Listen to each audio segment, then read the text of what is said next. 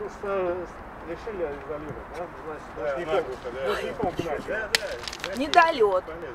Те, для кого норма переходить железнодорожные пути в неположенном месте, недовольны. Специалисты леспаркхоза в третий раз заваривают лаз, расположенный в районе 43-го дома по улице Селезнева.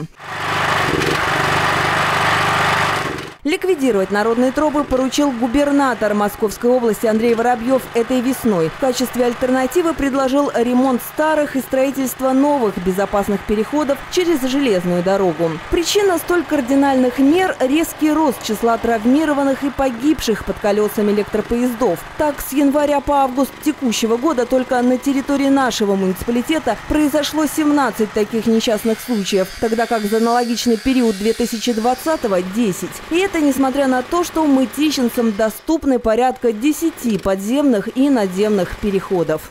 Совместно с Минтрансом мы эту работу ведем уже давно, уже второй год. А, За это время мы обследовали все станции, находящиеся на территории округа. У нас все обустроено. РЖД в ближайшие годы выполнил реконструкцию э, и старых переходов, обустроил новые пешеходные переходы, подземные, надземные. Что касается э, подходов к пешеходным переходам. Все они также у нас находятся в надлежащем состоянии. Специалисты леспаркхоза, в свою очередь, вот уже несколько месяцев подряд латают дыры в заборе от Челюскинской до Перловской. В неделю 12-15 адресов. Причем часто одни и те же. Многие упорно стремятся подняться на платформу, минуя турникеты, или так спешат попасть на противоположную сторону города, что игнорируют специальные переходы. Это очень ускоряет э, путь до дома. Я внимательно смотрю направо-налево, прежде чем переходить. Думаете, это поможет? Сто процентов. Излишняя самоуверенность до добра не доведет, считает майор полиции Евгений Стародумов. Он и его подчиненные регулярно проводят рейды, во время которых выявляют и штрафуют нарушителей.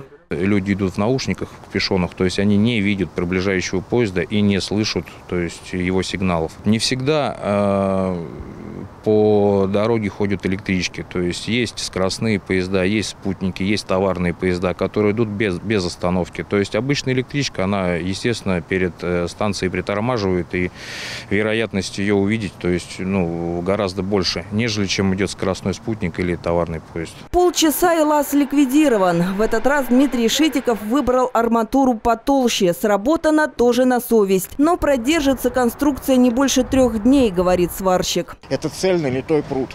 Это не профиль пустотелый, это пруток. Величина провара 2-3 сантиметра. Здесь уже не жалеем ни сил, ни электродов, ну, ни средств. Ничего. Все это, все срезано, видите?